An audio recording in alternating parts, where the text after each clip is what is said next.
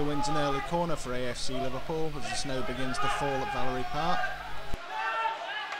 And it's McCoy who's taken the corner and he spotted Williams at the edge of the area. Williams' first time strike finds the back of the net. And AFC Liverpool take the lead after only three minutes. It's a move straight off the training ground and it's worked to perfection. And Bamba spotted McCoy in space, in behind the Daisy Hill defence. He shoots and more parries. And eventually it's scrambled clear. Andy McCoy already involved in the goal with a great opportunity to double AFC Liverpool's lead, but Moore made the save. And Gregory has broken through Davis's tackle. Willis is out quickly to close it down, and he gets hold of it at the second attempt. Paul Willis, spotting the danger early when Gregory broke through, was out quickly and made the save. And it's a ball over the top, looking for Bamba. Moore comes out, smashes the ball, and it bounces off Hartfield and behind for an AFC Liverpool corner.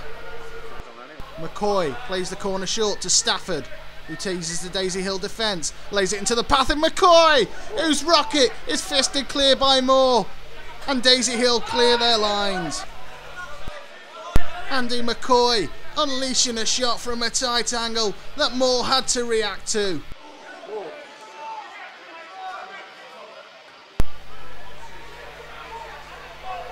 Davis to Stafford, back to Davis, and his pawnings is clear, and he's robbed by Gregory.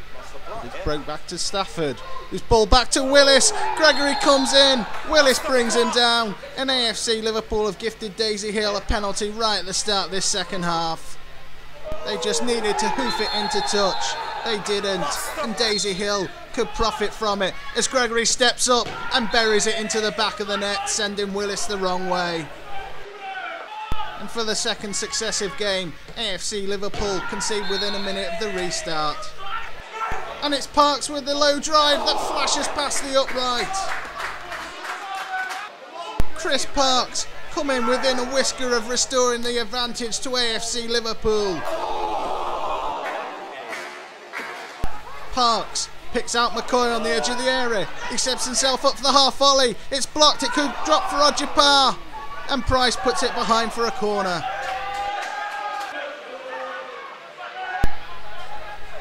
And it's played short to McCoy, who's in an acre of space at the edge of the area. He crosses in and picks out a pare, but he can't quite direct his header on target. Daisy Hill didn't pick up Charlie Opari and allowed him a free header from six yards. Gaskell's header on has dropped to McNeil inside the area and he buries it into the back of the net. And Daisy Hill, after going 1 0 down, now go 2 1 up. No one picked up McNeil when the header dropped to him, and he had all the time in the world to set his sights. Parks plays in Bamba down the right hand side. He's faced by Hartfield. Takes it to the byline, puts in a cross which sails over Moore and bounces off the top of the crossbar. Todd Bamba, whose crosses have been asking questions of the Daisy Hill defence all night, just didn't have luck on his side there. With a free kick. Finds Parks on the edge of the area. A quick shot and turn. Brings out a magnificent save from Moore. Chris Parks working on pure striking instincts there. And Scott Moore had to be at his best to deny him. And it's Gregory on the attack for Daisy Hill. Davis closes him down and concedes the corner. Corner comes in. Headed back across the box. McNeil has a shot. It bounces around. Willis comes out, denies Hastings, makes a save from Gregory. It's scrambled clear to the edge of the area where Buckley has a shot that just flashes past the upright and the referee awards Daisy Hill a corner, so he believes Willis made the save, though Willis denies it. But what he did do was first deny Hastings and then save point blank from Gregory. And then when the ball fell to Buckley at the edge of the area, he had the composure to tee his shot up, and he wasn't far wide. Bamba attacking down the right hand side, puts in a cross which is headed clear.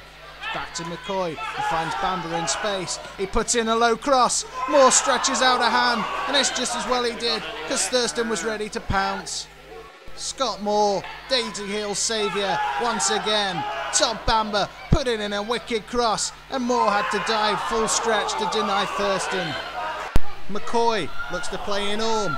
Comes back to him. Giwa sticks out a leg. Parks gets past Owen, and his low drive just agonisingly goes wide of the post, and it won't go in for AFC Liverpool. Gee was knocked down, fell nicely to Parks. He ghosted past Irwin, but had to watch as his shot drifted the wrong side of the upright. Price's clearance has dropped nicely for Gregory. He's broken in behind the AFC defence. And he finishes from the edge of the area into the far corner. And Daniel Gregory seals the victory for Daisy Hill.